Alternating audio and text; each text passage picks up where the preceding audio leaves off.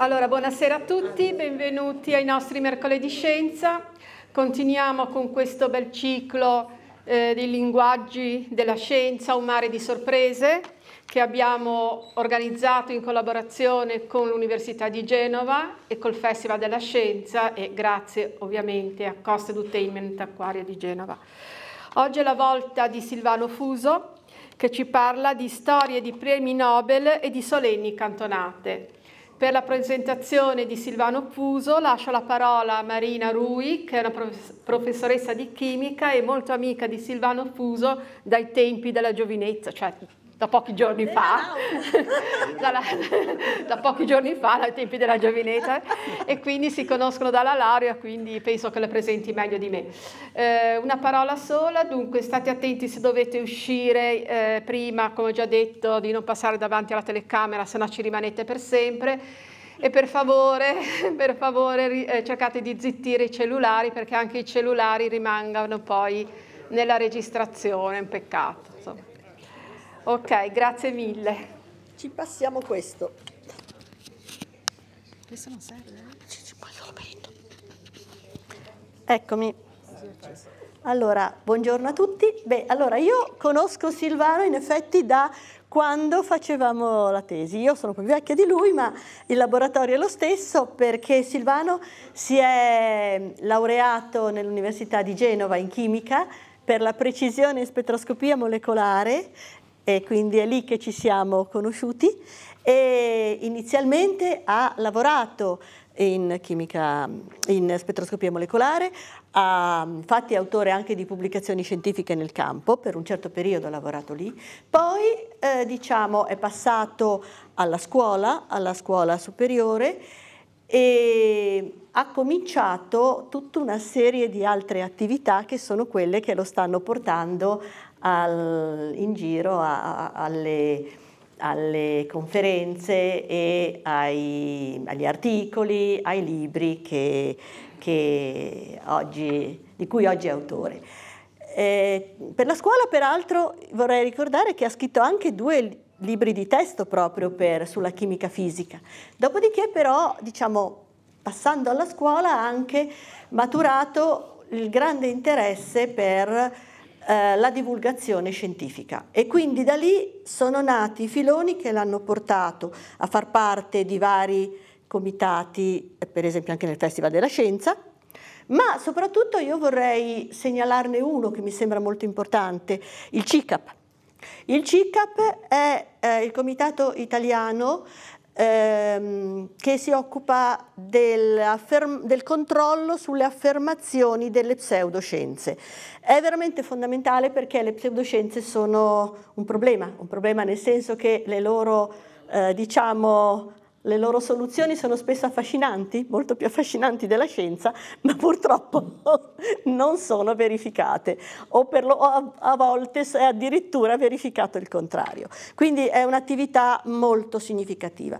Io non mi dilungo molto, vi dico ancora solo pochissime cose, perché vorrei segnalare che siccome la sua produzione è molto ricca, eh, e quindi ci porterebbe via molto tempo, mentre penso che sia più utile sentire la conferenza.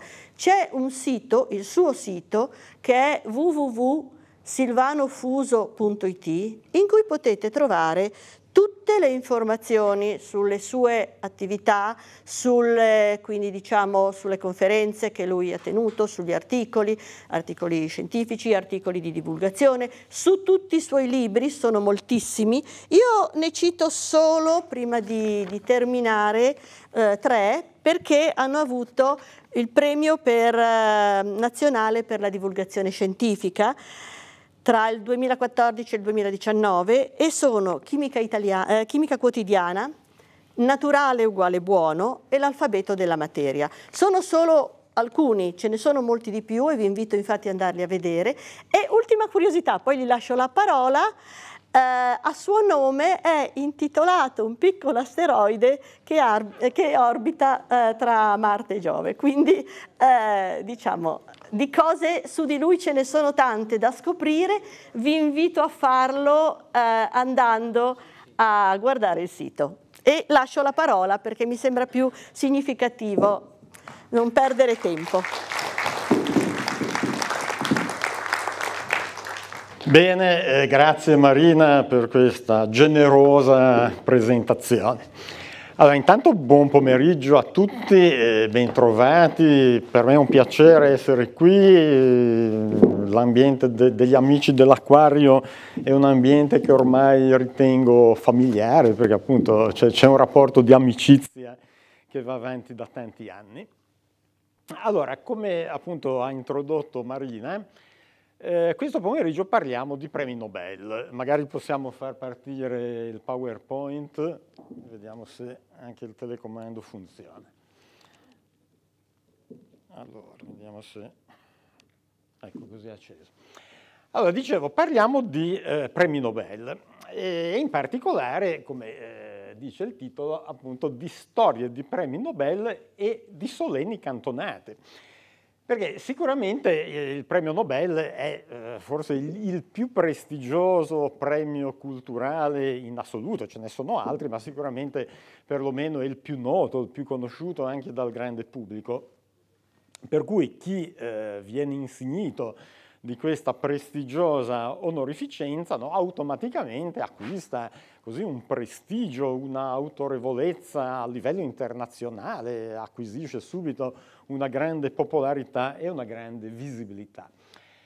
Però eh, quello che vorrei appunto fa far vedere nella chiacchierata di questo pomeriggio è che eh, il fatto di vincere un premio Nobel non garantisce automaticamente di essere immuni da errori, eh, non, non, non, è un vaccino contro le castronerie, no? non, è che uno che vinca il Nobel sia immunizzato da, dagli errori.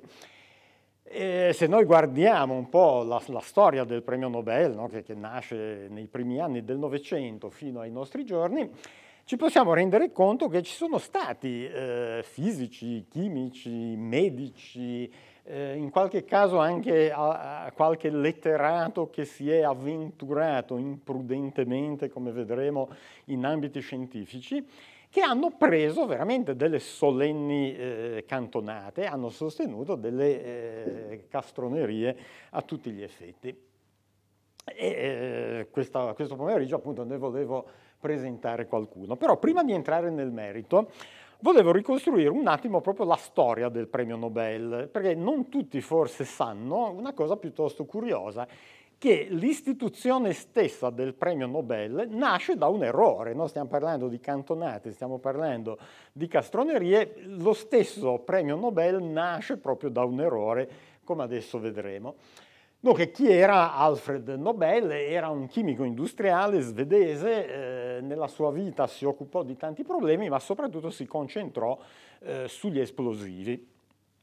E in particolare eh, lui trovò il modo di utilizzare una sostanza che non aveva isolato lui, ma era stata isolata da un chimico italiano torinese che si chiamava Ascanio Sobrero, questa sostanza si chiama nitroglicerina, che è uno dei più potenti esplosivi che si conoscano, però ha un difetto. Intanto è un liquido e il difetto è che praticamente esplode quando vuole lei, no? non quando vogliamo noi, nel senso che è un liquido eh, terribilmente instabile per cui basta un piccolo scossone per far saltare per aria tutto quanto, per cui l'utilizzo eh, della nitroglicerina pura no, come esplosivo presentava degli enormi problemi. Non so se qualcuno di voi ha visto il film di Sergio Leone Giù la testa, c'è il protagonista no, che gira appunto con queste provette di nitroglicerina con, con tutte le conseguenze del caso. Dicevo, eh, Alfred Nobel trovò il modo di sfruttare eh, il potenziale esplosivo della nitroglicerina evitando però la sua instabilità in una maniera apparentemente banale, cioè semplicemente eh, ebbe l'idea di mescolare questo liquido con delle polveri inerti, tipo la cosiddetta farina fossile, che, che è un prodotto appunto eh, originato da, da, da, da microconchiglie diciamo, che si accumulano nei mari. E eh, ovviamente brevettò questa sua invenzione e in questo modo nacque quella che viene comunemente chiamata dinamite. Eh, la dinamite trovò immediatamente applicazioni in tantissimi ambiti, non so, pensiamo alle miniere e ovviamente però trovò applicazioni anche in campo bellico, no? questo purtroppo è una costante della storia umana, no? ogni invenzione prima o poi viene utilizzata anche per scopi bellici. Eh, dicevo che Nobel eh, guadagnò una fortuna in seguito a questo suo brevetto, eh, fece nascere stabilimenti per la produzione della dinamite in diverse località, anche in Italia, vicino a Torino, nacque proprio uno stabilimento per la produzione della dinamite. Eh, a un certo punto però nel marzo del 1888 un fratello di Alfred che si chiamava Ludwig e che si occupava anche lui di, di esplosivi eh, saltò per aria nel classico esperimento sbagliato, no? come vengono di solito raffigurati i chimici nell'immaginario comune. Per cui saltò per aria mentre armeggiava nel suo laboratorio e eh, un giornalista però eh, francese equivocò cioè nel senso che lui si convinse che eh, fosse stato Alfred a saltare per aria, non il fratello Ludwig, Ludwig e eh, scrisse un articolo che venne pubblicato a Parigi in cui usò parole pesantissime nei confronti di Alfred che, ripeto, lui credeva erroneamente fosse morto. Lo definì addirittura mercante di morte, no? l'articolo iniziava proprio così, il mercante di morte è morto, il dottor Alfred Nobel, eh, che fece fortuna trovando il modo di uccidere più persone possibili, più rapidamente di quanto non si facesse primo, prima, è morto ieri. Quindi l'equivoco nacque da qui. Alfred eh, lesse questo articolo e ne rimase terribilmente turbato, perché lui non immaginava di avere un'immagine pubblica così negativa. Lui era animato da, da, da, ottime intenzioni, era uno spirito abbastanza filantropico, per cui eh, lui sperava che la sua invenzione eh, fosse utilizzata a beneficio dell'umanità, per cui non si era reso conto no, di aver invece acquisito questa immagine pubblica di mercante di morte. E eh, per cercare in qualche modo di riabilitarsi, decise di istituire la, la, la famosa no, fondazione Nobel, utilizzando l'immensa fortuna che, che, che lui riuscì a raccogliere, con lo scopo di premiare ogni anno tutti coloro no, che con il loro ingegno avessero effettivamente portato beneficio all'umanità. In questo modo nacque il premio Nobel che esiste ancora oggi, che viene assegnato come eh, sapete, per diverse discipline scientifiche, la fisica, la chimica, la medicina, viene assegnato per la pace, per la letteratura e eh, solo successivamente, in anni molto più recenti a noi, quindi siamo nel 1968, eh, la Banca di Svezia ebbe l'idea di istituire un premio simile per l'economia Infatti il premio Nobel per l'economia in realtà non è un vero premio Nobel perché non, non, venne istituito per decisione di Alfred Nobel, ma dalla Banca di Svezia appunto in epoca recente, nel 1968. Questa in sintesi è un po' la storia del premio Nobel. Come vedete appunto nacque lo stesso premio da un errore, eh, l'errore commesso da quel giornalista che equivocò eh, sulla morte del fratello Ludwig. Torniamo invece a, al tema proprio della chiacchierata di oggi, cioè gli strafalcioni, le cantonate prese da eh, vincitori di premi Nobel. Allora, qualcuno qualche anno fa eh, parlò addirittura di Nobel disease, cioè la malattia dei Nobel, perché siccome, eh, come vedremo, con una certa frequenza capita che vincitori di premi Nobel prendano eh, strafalcioni solenni, qualcuno addirittura, addirittura introdusse l'idea no, che eh, la vincita del premio Nobel creasse una sorta di patologia che venne proprio eh, definita Nobel disease, quindi malattia da Nobel. Eh, chi introdusse questa espressione è questo signore qua che è un oncologo, professore di chirurgia negli Stati Uniti. Ora, io non so francamente fino a che punto abbia senso parlare di malattia da Nobel. Può darsi che la vincita di un premio così eh, prestigioso no, a livello psicologico abbia un impatto tale su, sugli interessati che a un certo punto magari eh, sono preda di, di, una sorta di delirio di onniscienza, no? non di onnipotenza, ma di onniscienza, cioè nel senso che si autoconvincono magari di poter parlare di tutto, anche di cose di cui magari non sono eh, strettamente competenti. Comunque sia, al di là del fatto che esista o meno no, questa malattia da Nobel, eh, è un dato di fatto che eh, non pochi eh, vincitori di premi Nobel a un certo punto della loro carriera abbiano per così dire sbarellato, nel senso che eh, si sono innamorati di idee bizzarre che, che, che, non hanno poi mai trovato eh, alcun riscontro nel resto della comunità scientifica. Eh, per cui eh, abbiamo a che fare con eh, cervelli sicuramente al di sopra della media, no? menti eccelse, che però ehm, hanno manifestato a un certo punto tutte le loro caratteristiche umane, perché insomma, eh, i premi Nobel non sono marziani, sono esseri umani che si portano eh, inevitabilmente con sé tutte le debolezze tipicamente umane, quindi le, le, le, proprie manie, le proprie fissazioni, le, i propri pregiudizi, le, proprie idiosincrasie, che molto spesso no, hanno poi ricadute su quello che loro sostengono anche in campo scientifico. Come dicevo, non c'è nessuna categoria esclusa, no? ci sono fisici, ci sono medici, eh, chimici, eh, biologi e, e, chi più ne ha più ne metta. E come accennavo, no, ci sono stati anche casi di eh, premi Nobel per la letteratura che si sono avventurati con una certa imprudenza in ambiti scientifici cadendo vittime di solenni cantonate. Eh, piccola precisazione, eh, io mi occupo di divulgazione scientifica per cui inevitabilmente mi occupo e mi sono occupato di questioni scientifiche. Ho totalmente escluso premi Nobel per la letteratura e premi Nobel per la pace perché non, non, non riguardano la scienza e poi si va eh, in ambiti in cui è veramente difficile no, capire chi ha ragione, chi ha torto, dove sia l'errore, dove sia la verità. No? La letteratura, eh, la pace, cioè sono temi anche piuttosto opinabili, per cui di quello io non mi sono assolutamente occupato, mi sono occupato solamente di eh, risvolti di carattere scientifico.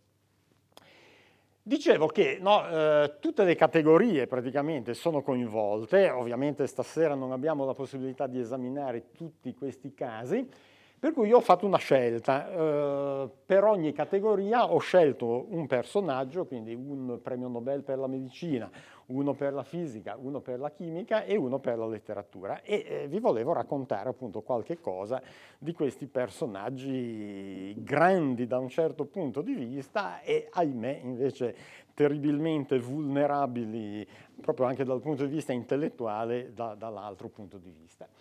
Cominciamo quindi con un premio Nobel per la medicina. Si tratta di Charles Richet. Charles Richet era, è stato un grandissimo medico eh, e fisiologo eh, francese, nato nel 1850, morto nel 1935. Eh, lui è universalmente riconosciuto come il fondatore di quella che si chiama sieroterapia e vinse il premio Nobel per la medicina nel 1913 per la scoperta della cosiddetta anafilassi, no? quando uno ha uno shock anafilattico, come si dice, cioè il primo che identificò proprio questo processo patologico fu Charles Richet, quindi grandissimo eh, scienziato, grandissimo medico che, che, ha dato un contributo importantissimo alla medicina, quindi il suo premio Nobel è assolutamente meritato al 100% era comunque un personaggio molto eclettico, perché al di là della medicina lui aveva moltissimi interessi. Si interessò di poesia, di letteratura, di, di aviazione, era un fervente pacifista, quindi un, un intellettuale diremmo proprio a tutto tondo, no? a 360 gradi. E eh, siamo fine 800, inizi 900, per cui non poteva non interessarsi di un argomento che all'epoca era estremamente di moda, che era il cosiddetto spiritismo, eh, altrimenti chiamati anche fenomeni psichici, cioè tutti quei fenomeni, quei presunti fenomeni, eh, oggi li chiameremmo paranormali, no? che eh, andrebbero oltre eh, quelle che sono le conoscenze che, che la scienza ci consente di avere. Lui si appassionò moltissimo no, a a, allo studio di questi presunti fenomeni che, ripeto, all'epoca erano di gran moda e si concentrò soprattutto sullo spiritismo. Ora, nello spiritismo sapete no, che cosa si fa? Ci sono dei personaggi che si autodefiniscono medium tra i vivi e eh, il regno dell'aldilà e eh, durante queste sedute spiritiche fanno credere no, ai partecipanti appunto di entrare in comunicazione con i defunti, eh, a volte manifestano fenomeni che, che, che, impressionano molto ovviamente chi partecipa alla seduta. Richer, dicevo, a partire dal 1880 eh, cominciò a occuparsi attivamente di, di questi presunti fenomeni eh, spiritici partecipò a diverse sedute spiritiche con quelli che erano i sedicenti medium più in auge all'epoca e in particolare partecipò a parecchie sedute in cui la protagonista, diciamo la medium, era Eusapia Palladino. Forse qualcuno di voi ha sentito nominare questo nome perché sicuramente è stata una delle più famose medium eh, dell'epoca. Eusapia Palladino eh, era una popolana, diciamo, di origine pugliese, era semi-analfabeta, cioè non, non, credo che non sapesse neanche scrivere. Eh, ciò nonostante diventò un personaggio famosissimo a livello europeo, eh, veniva contesa perché tutti volevano partecipare alle sedute spiritiche da lei eh, condotte. E era, ahimè, una solenne imbrogliona, eh, nel senso che venne smascherata ripetutamente mentre utilizzava trucchi dozzinali proprio per eh, prendere per i fondelli, scusatemi l'espressione, eh, prendere per i fondelli i partecipanti a queste sedute. Usava trucchi banali, so, tipo per far muovere il classico tavolino spiritico usava i piedi, oppure quando si faceva la catena mediatica, medianica lei eh, abilmente no, eh, sottraeva una mano e con la mano libera faceva eh, verificare tutto quello che lei voleva, impressionando moltissimi partecipanti. Poi aveva un caratteraccio, eh, quando qualcuno osava contraddirla, lei dava in escandescenza, cioè praticamente l'unica regista no, delle sedute era lei, perché chiunque osasse avanzare qualche critica veniva subito mazzolato eh, di brutto. Uh, Charles Richet partecipò a diverse di queste sedute e si convinse che i poteri decantati da Eusapia Palladino fossero autentici, per cui lui eh, involontariamente contribuì anche a farle pubblicità, no? a consolidare ancora di più quello che lei ovviamente cercava di diffondere sul suo conto. Eh, dicevo che appunto fu un, anche un inguaribile divulgatore di questi fenomeni spiritici. Eh, nel 1891 fondò addirittura una rivista, no, gli Annali delle Scienze Psichiche, che divenne ben presto un riferimento proprio per tutti coloro che si occupavano di spiritismo.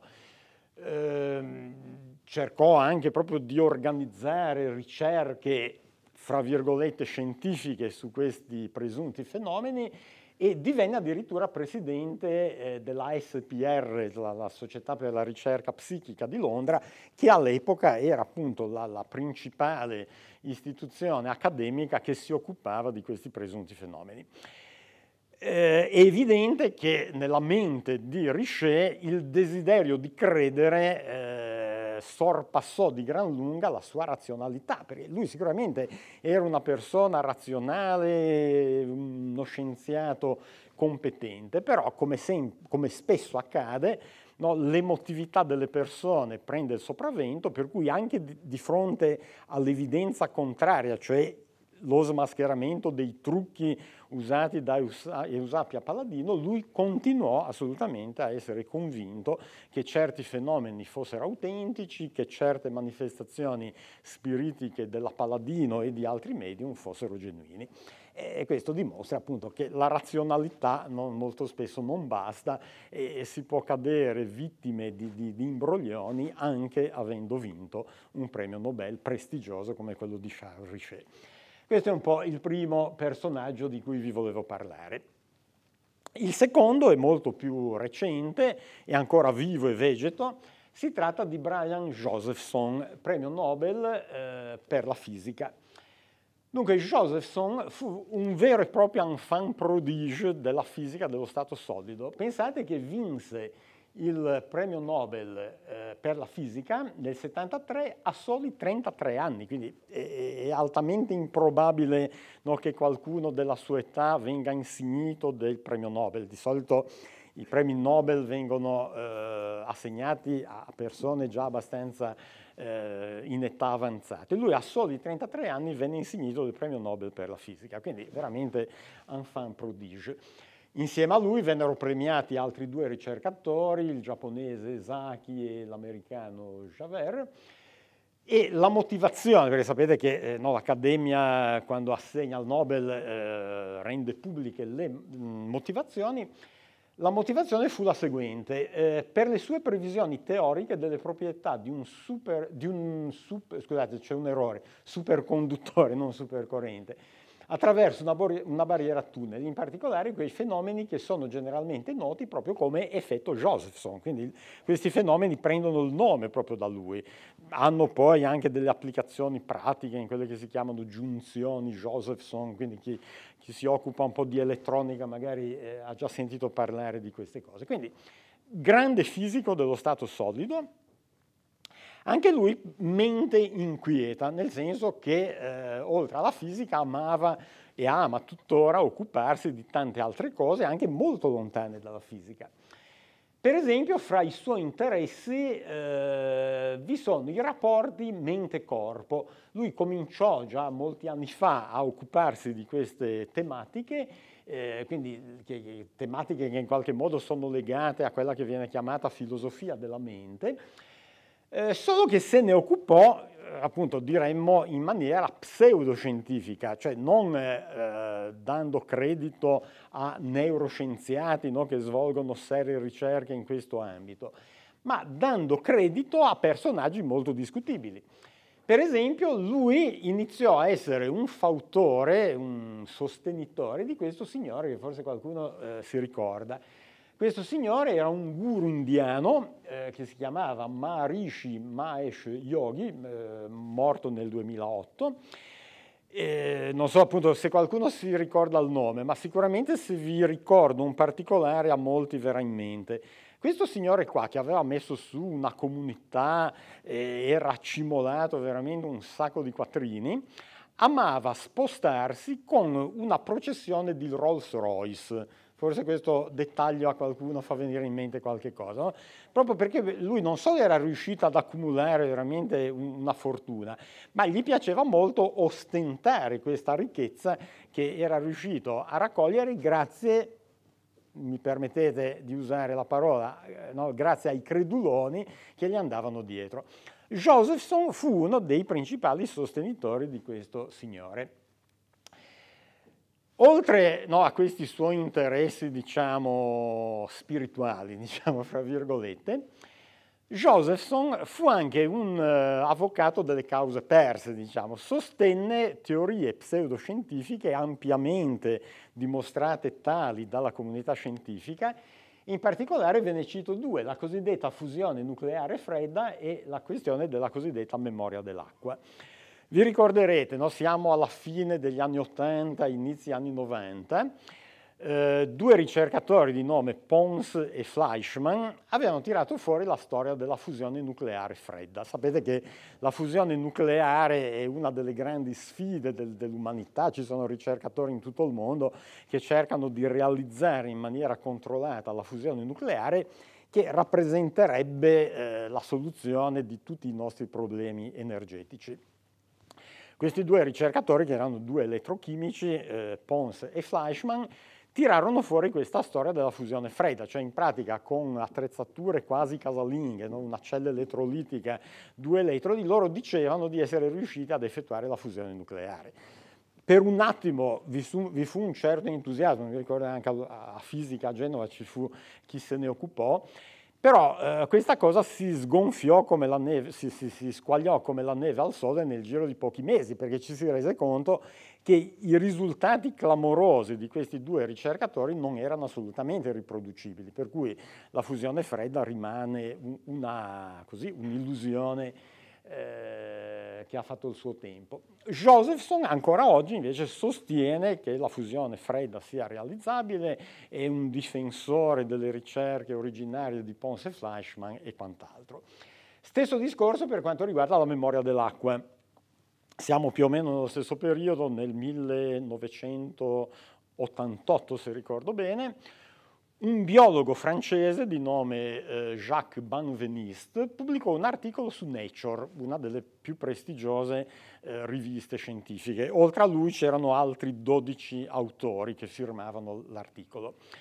Eh, per farla breve, in questo articolo si sosteneva che delle soluzioni estremamente diluite, che quindi insomma, facendo i calcoli alla mano eh, si vedeva che non contenevano più alcuna traccia del soluto, cioè c'era soltanto il solvente, era acqua fresca. Secondo Banveniste mantenevano invece un ricordo, per così dire, di ciò che era stato disciolto in queste soluzioni ultradiluite. Ovviamente chi andò a nozze no, con questa presunta scoperta furono gli omeopati, perché nell'omeopatia sapete che si raggiungono proprio queste diluizioni estreme, per cui quella che viene chiamata tintura madre utilizzata inizialmente non è più presente neanche a livello proprio molecolare in questi preparati che vengono venduti a caro prezzo in farmacia. No? Uno sborsa un sacco di soldi e si porta a casa dell'acqua fresca. Eh, Josephson, nonostante la comunità scientifica avesse poi demolito completamente questo articolo di Banvanista, ancora oggi ogni tanto tira fuori la validità della memoria dell'acqua, arrampicandosi sugli specchi perché, ripeto, eh, non c'è assolutamente alcuna evidenza, anzi ci sono montagne di evidenze contrarie che smentiscono questa bizzarra ipotesi. Una cosa curiosa, Josephson è un accanito eh, contributore, come dicono gli anglosassoni, di Wikipedia. Sapete che Wikipedia è un'enciclopedia aperta a tutti, no? chiunque può dare il suo contributo. Josephson, fin dalla nascita di Wikipedia, fu uno dei principali autori, diciamo così, e uno si aspetterebbe insomma, che un premio Nobel per la fisica contribuisse parlando di fisica, in particolare di fisica dello stato solido, ma neanche per idea. Lui eh, cominciò a collaborare con Wikipedia sulle cose di suo interesse che abbiamo citato prima, quindi eh, teorie diciamo spiritualiste sull'anima, fusione fredda, memoria dell'acqua e quant'altro. E oltretutto, siccome eh, Wikipedia è un luogo piuttosto affollato, no? ci fu subito qualcuno che disse guardi, lei sarà anche un premio Nobel, ma quello che sostiene non ha nessuna evidenza. Lui ovviamente reagì in maniera molto esagitata, no? proprio facendo leva eh, sul principio di autorità, no? Insomma, in poche parole disse come vi permettete di contraddire me che ho vinto il premio Nobel. Tant'è vero che gli amministratori di Wikipedia lo cacciarono fuori addirittura, lo sospesero per un certo periodo, soltanto quando eh, diciamo, venne a miti consigli, fu riammesso e continua, credo tuttora, a collaborare con Wikipedia su queste tematiche sostenendo cose, ripeto, totalmente smentite dal resto della comunità scientifica.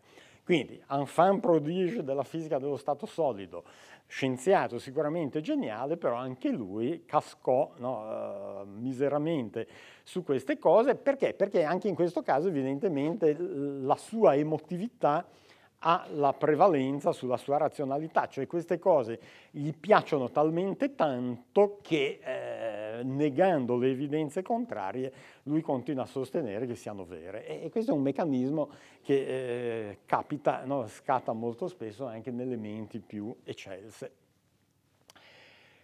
Non potevamo non parlare di premi Nobel per la chimica, no? Insomma, siamo chimici e Marina, quindi eh, era doveroso fare anche un po' di autocritica nei confronti dei chimici.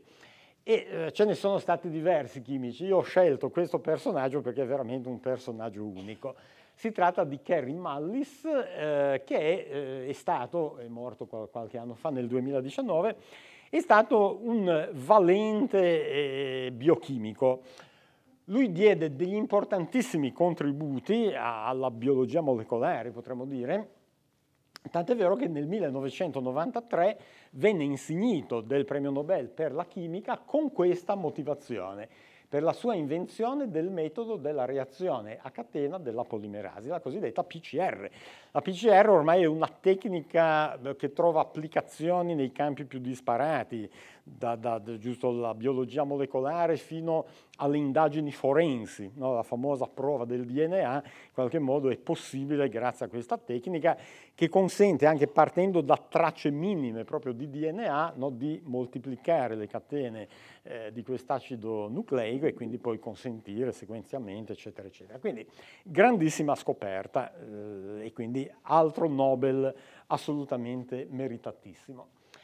Però dicevo che eh, Kerry Mullis è, stato veramente un personaggio unico nel suo genere. Eh, intanto lui aveva eh, diverse passioni che non ebbe mai problemi, problemi a, a, confessare pubblicamente. Eh, prima passione il surf, qui lo vediamo raffigurato con la sua inseparabile eh, tavola da surf, Seconda grande passione, le donne, lui era un inguaribile Don Giovanni e non ha mai fatto un mistero di questa sua passione. Terza passione, le droghe. Uno dice, ma come, un premio Nobel che si droga? Ebbene sì. Lui lo confessa in un libro che è estremamente divertente, io ve lo consiglio come lettura ricreativa. Il libro è questo, Ballando nudi nel campo della mente, in cui praticamente lui racconta eh, la sua biografia eh, non facendo mancare al lettore questi particolari anche piuttosto privati, piuttosto intimi. Lui racconta che eh, fu sua madre ad avvicinarlo al mondo delle droghe, perché lui racconta che fin quando era bambino la madre gli somministrava barbiturici per dormire, anfetamina quando aveva il raffreddore, andava giù pesante, no la mamma? Eh, il cosiddetto paregorico, che è una soluzione alcolica di oppio al 10% per tosse e diarrea. Quindi lui fin da bambino assumeva droghe perché era la madre stessa che gliele somministrava. A un certo punto andò all'università, si trovò negli anni 60 a Berkeley, era inevitabile che eh, finisse col provare l'LSD, che era la, moda, la, la droga di moda dell'epoca, no? il famoso acido lisergico. Eh, al di là di questo, no? uno dice, vabbè, si droga, sono affari suoi. Eh, quello che invece eh, preoccupa un po' di più sono le posizioni pseudoscientifiche che lui pubblicamente ha sostenuto per tutta la sua vita. Ad esempio, lui fu molto possibilista nei confronti della validità dell'astrologia. Eh, lui attaccava duramente coloro che criticavano l'astrologia li, li, accusava di essere la nuova Inquisizione, di, vo, di voler soffocare eh, le nuove idee, a parte che di nuovo l'astrologia ha ben poco, perché se c'è una disciplina antichissima è proprio la, l'astrologia ed è rimasta uguale a se stessa, no? non, non, ha subito alcuna eh, evoluzione, eccetera. Comunque, fin qui, tutto sommato, l'astrologia è abbastanza innocua, no? se uno ci vuole credere è affar suo. Il discorso cambia quando Mallis invece sostenne pubblicamente altre cose che avevano delle ripercussioni in campo medico.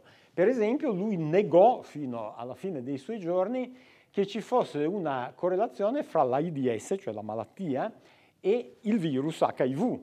Ormai insomma, la comunità scientifica da anni sa che l'AIDS è una patologia creata da questo virus.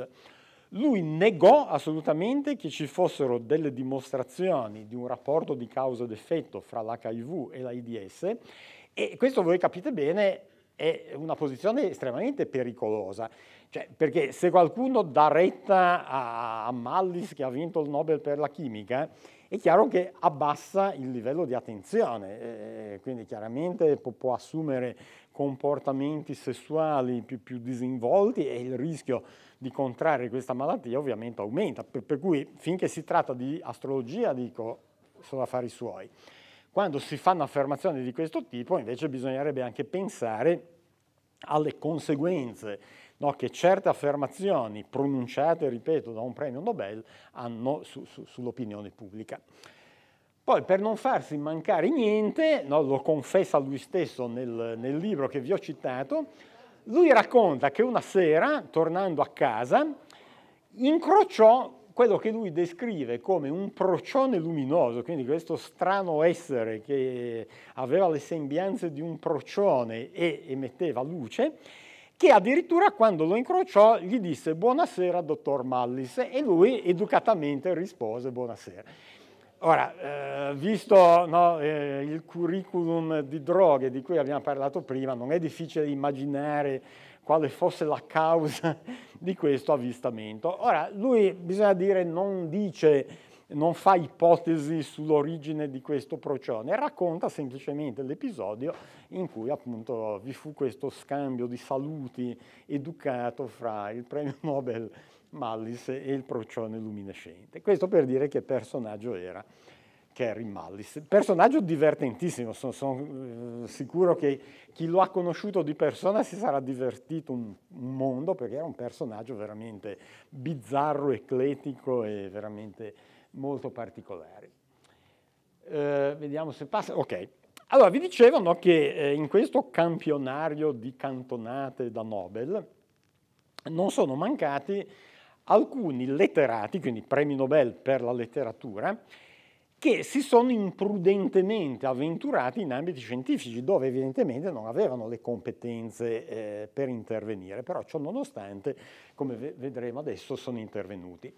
Un caso tipico è quello di Henri Bergson. Henri Bergson è stato un grande filosofo, eh, nato nel 1859, morto nel 41, 1941, che vinse il premio Nobel per la letteratura nel 1927 e la motivazione ancora una volta è stata in riconoscimento delle sue ricche e vitalizzanti idee e della brillante abilità con la quale sono state presentate. Sicuramente era una buona penna eh, Bergson, scriveva bene, eh, le sue idee filosofiche le riusciva a esprimere bene, a catturare l'attenzione dei lettori, per cui eh, vinse il premio Nobel per la letteratura. Quello per la filosofia non c'è, per cui gli, gli diedero il premio Nobel per la letteratura.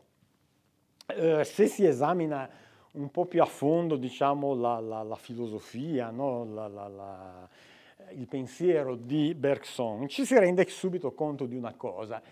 Eh, lui dava eh, grandissimo peso no, alla percezione interiore, quindi la percezione soggettiva, la percezione individuale, contrapponendosi invece a quello che è un po' l'obiettivo di tutte le discipline scientifiche, cioè raggiungere una conoscenza oggettiva che vada al di là dell'opinione individuale. Quindi già da questo capiamo che fra lui e la scienza non poteva forse correre tanto buon sangue proprio a causa di questa sua impostazione. In particolare lui sviluppò no, gran parte della sua filosofia eh, concentrandosi sul concetto di tempo e quindi era inevitabile no, che eh, ci fosse in qualche modo un, un, confronto con quelle che sono le concezioni che la scienza ha prodotto sul concetto di tempo. Siamo agli inizi del Novecento e quindi era inevitabile che le idee, scusate, le idee di Bergson si confrontassero con quelle di Albert Einstein. Scusate che io ho cliccato per errore. Albert Einstein sapete che è stato il fisico del Novecento che più di ogni altro ha uh, fatto le pulci, se vogliamo, al concetto di tempo. No? Con la teoria della relatività lui ha proprio rivoluzionato completamente quello che era il concetto di tempo della fisica classica. E il 6 aprile del 1922 venne organizzata dalla Società francese di filosofia un incontro, proprio oggi diremmo una tavola rotonda, no? un, un, faccia a faccia, che vide protagonisti proprio eh, Bergson e Einstein. Entrambi erano già personaggi famosi. Eh, Einstein aveva vinto il Nobel per la fisica l'anno precedente, nel 21, e Bergson eh, era già uno stimato intellettuale per, per, queste sue opere un po' a cavallo fra filosofia e letteratura di cui abbiamo parlato, in particolare un'opera di Bergson era particolarmente in auge all'epoca, che è l'evoluzione creatrice, che lui aveva pubblicato proprio pochi anni prima. Eh, nel dibattito no, che ci fu fra Bergson e Einstein, Bergson praticamente eh, illustrò quello che era il contenuto di un suo libro che sarebbe stato pubblicato poco dopo l'incontro del 6 aprile 22, che, eh, libro che si chiamava Durata e simultaneità, proprio a proposito de della teoria di Einstein. Cioè in questo libro, che venne pubblicato poco dopo l'incontro, lui eh, si permetteva proprio di criticare duramente le concezioni del tempo elaborate da Einstein nell'ambito della teoria della relatività. E al di là dei contenuti filosofici, che ovviamente non sono giudicabili no, con criteri scientifici, si va in ambiti che sono extrascientifici, però quello che emerse durante il dibattito e quello che può emergere ancora oggi leggendo il libro di, per, di Bergson eh, sono proprio degli errori gravi di carattere concettuale che Bergson commise nell'interpretazione delle teorie di Einstein. Cioè lui dimostrò proprio di aver capito ben poco di, de, della relatività di Einstein, il che può essere anche legittimo, insomma un filosofo letterato non è tenuto a essere esperto di relatività però lui ebbe l'ardire no, di eh, criticare anche in maniera piuttosto pesante i contenuti di Einstein eh, relativi appunto alla sua teoria, esponendosi abbastanza al ridicolo, perché emerse chiaramente che in questo dibattito eh, Bergson dimostrava eh, scarsa competenza, mentre Einstein, serafico, eh, ribatteva ovviamente alle obiezioni con, grande serenità d'animo come era diciamo, nel suo carattere, invece Bergson ne uscì veramente male da questo dibattito, ne uscì veramente con le ossa rotte. Eh, ci furono ovviamente critici che esaminarono no, i dettagli del dibattito, eh, diversi fisici, io qui ne ho scelto uno, ma ce ne sono tanti altri, per esempio questo Olivier Costa de Beauregard, disse espressamente gli argomenti tecnici prodotti da Bergson nel libro Durate e simultaneità sono assolutamente erronei e non hanno applicazione, quindi non si tratta di filosofia, si tratta proprio di errori eh, gravi, di errori grossolani di fisica, quindi lui dimostrò proprio di non aver capito eh, un granché. Giudizi analoghi vennero espressi anche da altri fisici e lo stesso Einstein, in, scusate ho saltato, eh, lo stesso Einstein, in una lettera che scrisse a un suo amico qualche tempo dopo, disse testualmente, Bergson sul suo libro sulla teoria della relatività ha fatto alcuni, errori, alcuni gravi errori e disse molto serenamente Dio perdonalo. Eh, Einstein si rese conto no, che era il classico dilettante allo sbaraglio, no, diremmo oggi, cioè eh, una persona che si, voluto, che si, è voluta avventurare in ambiti di cui non era assolutamente eh, competente e, e, quindi ne uscì veramente con le ossa rotte. E quindi è successo anche questo, appunto, di eh, letterati che, ripeto, non sono tenuti ad avere competenze scientifiche, però hanno avuto l'imprudenza di eh, addirittura eh, rivolgere critiche pesanti a chi invece eh, competente lo era, perché insomma Einstein in fatto di relatività eh, se ne intendeva sicuramente. Ci sarebbero tanti altri esempi, adesso ve ne cito qualcuno così proprio en passant, poi magari se volete approfondire ne possiamo parlare nella discussione. C'è un altro personaggio ancora vivo oggi, James Watson, il quale divenne eh, celeberrimo insieme a Crick e eh, Wilkins per la determinazione della struttura a doppia elica del famoso DNA eh, scoperta che rivoluzionò completamente tutta la biologia. L'articolo venne pubblicato nel 1953. Eh, già nell'assegnazione del premio Nobel ci sarebbero cose da ridire perché chi diede un grossissimo contributo a questa scoperta fu Rosalind Franklin, che era una chimica, una difrattometrista che realizzò proprio la famosa immagine no, di diffrazione ai raggi X, sulla quale poi lavorarono Crick, Watson e Wilkins. Eh, la Rosalind Franklin purtroppo morì di cancro prima che l'articolo venisse pubblicato. Il premio Nobel venne eh, attribuito a questi tre che vi ho citato, quindi Watson, Crick e Wilkins, i quali durante il discorso no, in occasione dell'assegnazione del Nobel si guardarono bene dal citare la povera Rosalind Franklin, quindi già questa fu veramente un'azione vergognosa da parte di tutti e tre nel non dare il giusto riconoscimento a questa poveretta che nel frattempo era deceduta. Purtroppo Watson poi eh, nel corso di tutta la sua vita, ripeto, è ancora vivo, ha 94 anni quasi, ma ancora in auge, eh, non perse occasione per mettere in mostra proprio gli aspetti peggiori della sua personalità. Qui ne leggete qualcuno. Ha sostenuto, scusate, sono tornati indietro inavvertitamente.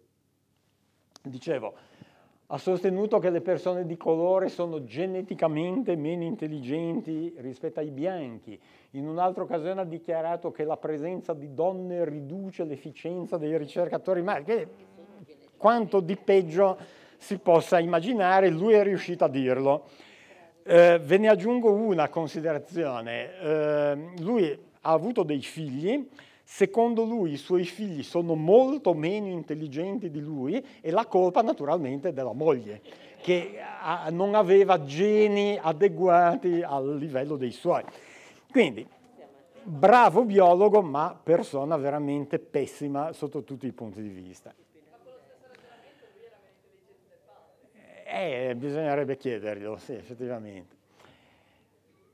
Altro personaggio che, al pari di Charles Richet, che ho citato prima, fu un uh, sostenitore dei fenomeni spiritici, fu Pierre Curie, marito no, della forse più famosa Marie, eh, grande fisico, eh, infatti lui vinse insieme alla moglie il premio Nobel per la fisica, poi Marie da sola lo vinse anche per la chimica successivamente, però anche lui fu un fautore dello spiritismo, anche lui partecipava alle sedute di Eusapia Palladino che ho citato prima e addirittura lui sosteneva che questi fenomeni no, avrebbero aperto le porte a una nuova fisica, quindi anche lui si fece prendere per il naso da questi eh, sedicenti medium che usavano trucchi a volte anche di basso livello per eh, gabbare i partecipanti alle sedute.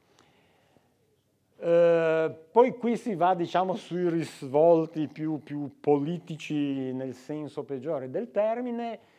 Von Leonard e Johannes Stark, eh, Nobel per la fisica rispettivamente nel 1905 e nel 1919, per contributi che sono stati sicuramente scientificamente importanti, però loro furono eh, sostenitori sfegatati del regime nazista e furono tra eh, i fautori di, di, quella sorta di crociata che, che organizzarono eh, nell'ambito della comunità scientifica tedesca dell'epoca contro la cosiddetta fisica giudaica. Fisica giudaica che era praticamente la relatività di Einstein, come sappiamo appunto Einstein era di origine ebrea, la stessa eh, meccanica quantistica tra i cui padri no, eh, c'era stato anche qualche eh, fisico ebreo, per cui loro, no, in nome della difesa della cultura ariana, della scienza ariana, intrapresero que- que- questa veramente volgare battaglia contro la, la cosiddetta fisica giudaica. Consentitemi di citare Linus Pauling, io voglio un gran bene a Linus Pauling, eh, primo perché è un chimico, eh, ho studiato anche su qualche suo libro che, che rappresenta veramente eh, qualche testo sacro per tutti i chimici, quindi grandissimo chimico, ha dato grandissimi contributi alla chimica, tant'è vero che nel 1954 venne insignito del premio Nobel per la chimica. Poi, altro motivo che me lo rende particolarmente simpatico, fu un pacifista convinto, lui intraprese molte battaglie contro il riarmo nucleare, eccetera, eccetera, tant'è vero che nel 62 vinse un secondo premio Nobel, questa volta per la pace, quindi lui è delle una delle pochissime persone ad aver vinto addirittura due Nobel. Anche lui però, ahimè, a un certo punto eh, prese qualche scivolone solenne. Eh, a un certo punto della sua carriera eh, lui cominciò a occuparsi di vitamina C e si convinse che l'assunzione di dosi massicce, quindi al di sopra dei mille milligrammi giornalieri, eh, rappresentasse una sorta di panacea nei confronti di qualsiasi patologia, dai semplici raffreddori fino ai tumori. Lui stesso assumeva quotidianamente dosi massicce di vitamina C. Non c'è nessuna evidenza dal punto di vista medico che l'assunzione di vitamina C in dosi così elevate possa proteggere da determinate patologie, anzi può essere anche controproducente, può dare problemi a livello renale, eccetera. Lui si convinse invece di questa cosa, pubblicò libri, pubblicò articoli in cui decantava le straordinarie virtù della vitamina C. C'è un particolare curioso, no? eh, una volta doveva tenere una conferenza ed era visibilmente raffreddato. Qualcuno gli fece notare, ma professore, no, lei non diceva che assumendo vitamina C eh, si poteva sconfiggere il raffreddore? lui non trovò di meglio che rispondere che si trattava di allergia e non di raffreddore, vero, quindi anche lui eh, si arrampicò un po' sugli specchi nonostante i suoi due premi Nobel. Eh, e consentitemi di chiudere con questo altro personaggio che eh, siamo arrivati ai nostri giorni, Luc Montagnier è morto nel febbraio 2022, quindi quest'anno, e eh, vinse nel 1983 insieme a Françoise eh, Sinoussi il Nobel per la medicina proprio per la scoperta dell'HIV, cioè il virus di cui accennavamo prima, responsabile dell'AIDS. Ci fu una polemica anche in occasione del conferimento del Nobel perché non fu dato il Nobel a Robert Gallo, che era un ricercatore americano che aveva dato importanti contributi anche lui nel, nell'isolamento di questo virus. Comunque il Nobel per l'HIV Montagnier diciamo che se l'è meritato. Però nella sua carriera scientifica Montagnier più di una volta ha assunto posizioni discutibilissime. Questo ancora prima di vincere il Nobel. Per esempio, eh, qualcuno se lo ricorderà, eh, lui eh, propose a Giovanni Paolo II, quindi Papa Wojtyła, una cura per il Parkinson da cui il Papa era affetto a base di estratti di papaya fermentati, qualcuno di voi se lo ricorderà. Il resto della comunità scientifica eh, sostenne che appunto non c'era assolutamente nessuna evidenza che questo estratto di papaya eh, fermentata avesse qualche effetto nei confronti del Parkinson. Quindi eh, già questo suo esordio lasciava molto a desiderare. Poi in epoca più recente pubblicò degli articoli in cui rispolverava la storia della memoria dell'acqua a cui ho accennato prima, tra l'altro pubblicando su riviste del tutto sconosciute, eh, riviste cinesi, poi si è andato ad approfondire un po' il discorso, si scoprì che il direttore della rivista era lui stesso, quindi se la cantava e se la suonava, nel senso che pubblicava su riviste che lui stesso dirigeva. Quindi già questo dal punto di vista della deontologia professionale lascia un po' a desiderare. Poi ultimamente, quindi veniamo ai nostri giorni, quindi inizio pandemia, siamo nel 2020, lui uscì fuori sostenendo che il eh, SARS-CoV-2 era di origine artificiale. Secondo lui era sfuggito da qualche laboratorio, quindi questo virus era stato creato probabilmente con scopi benefici per, lui diceva, per mettere a punto un vaccino contro l'HIV. Il resto della comunità scientifica smentì immediatamente queste sue congetture, perché eh, mi ricordo su Nature proprio venne pubblicato un articolo in cui veniva sequenziato il DNA del virus da cui risultava evidente l'origine naturale di questo virus. Quindi anche qui eh, le, le, posizioni sostenute da Montagnier furono assolutamente controcorrente. Poi assunse invece in epoca più recente posizioni dichiaratamente Novax e quello che è triste è che immediatamente questo venne sfruttato a livello politico per fare propaganda elettorale. Io ho un piccolo video di, di pochi minuti, se abbiamo il tempo ve lo faccio vedere, magari se riesce a far partire il video poi lo commentiamo dopo. Andiamo a vedere. Vorremmo, io e Croce abbiamo discusso molto in questi giorni insieme a me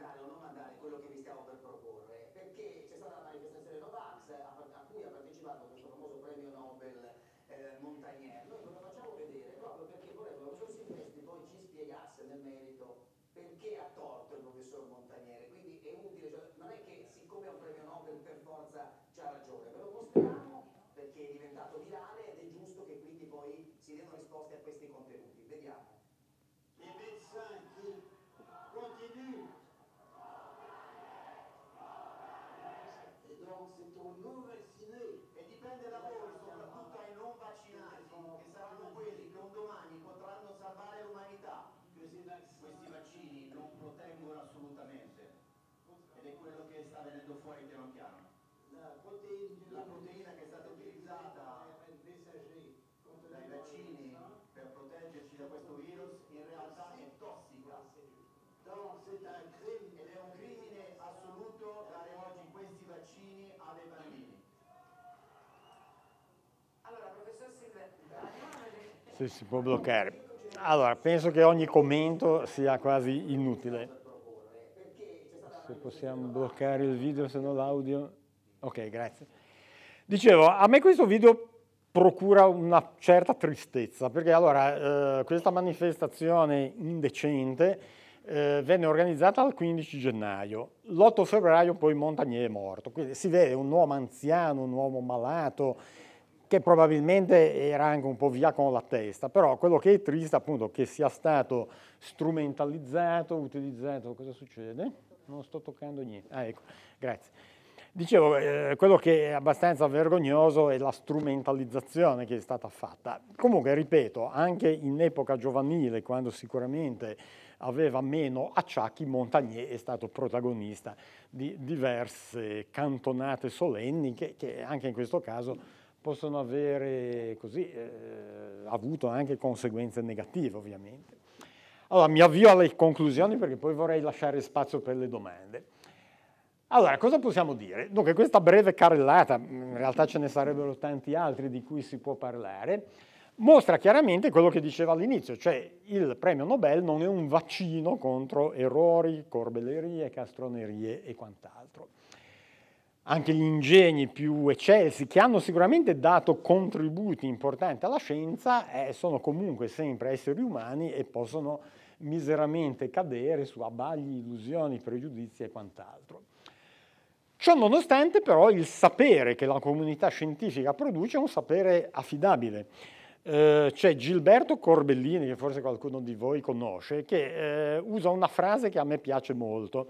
Lui dice la scienza funziona nonostante gli scienziati. È vero, perché gli scienziati a volte possono dire fesserie, però la comunità scientifica insieme, eh, cioè intesa come insieme, appunto come, come comunità, ha ormai messo a punto dei sistemi di controllo tali che ciò che la comunità produce ha un buon livello di affidabilità, nonostante che i singoli scienziati, i singoli premi Nobel possano anche sostenere eh, castronerie. Ecco, questo l'abbiamo già detto, appunto questi meccanismi no, autocorrettivi garantiscono proprio l'affidabilità di, di, ciò che eh, la scienza fa. Eh, in pratica anche questo l'ho già anticipato. Se ci pensiamo bene, no, non c'è nessun'altra attività umana dove ci sia costantemente questa azione di filtraggio, questa azione di controllo continuo. Cioè, in pratica gli scienziati non fanno altro che farsi le pulci a vicenda, cioè appena uno scienziato pubblica qualcosa di nuovo è chiaro che gli altri ricercatori dello stesso campo vanno a controllare la veridicità di quello che dice, l'attendibilità di certi risultati, la plausibilità di certe teorie. Quindi è proprio questo meccanismo di controllo reciproco che garantisce la bontà di ciò che la comunità produce. Nella scienza ovviamente non vale un accidente il principio di autorità, non ci sono autorità indiscusse, non ci sono testi sacri, eh, vi sono ovviamente scienziati più o meno autorevoli, cioè chi ha dimostrato di essere bravo in un certo campo è ovvio che va preso in considerazione, però non deve mai essere preso per oro colato quello che viene detto, perché chiunque, come abbiamo visto, può cadere vittima di errori.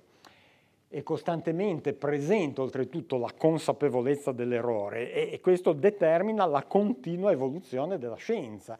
No, eh, la scienza, non so, di, 100 anni fa è, è, era diversa da quella di oggi e quella di oggi a sua volta è diversa da quella che ci sarà fra 100 anni. Quindi la scienza per sua natura si evolve proprio perché riconosce costantemente gli errori e cerca di correggerli. Questo non succede invece nelle famose pseudoscienze cui accennavamo. No, le pseudoscienze sono sempre uguali a loro stesse, non hanno nessuna evoluzione. Eh, permettetemi un po' di autopromozione, io qualche anno fa ho pubblicato questo libro dove faccio appunto una collezione, un'antologia di eh, cantonate da Nobel, dunque ne ho messe insieme mi pare circa due dozzine, 12 Nobel per la medicina, 7 per la fisica, 3 per la chimica, 2 per la letteratura. Non so quanto siano significativi i numeri, non credo che si possano tirar fuori delle percentuali per dire che i medici sono più, eh, diciamo, creduloni. È semplicemente un dato che è emerso da, da, dalle ricerche che per divertimento mi sono messo a fare.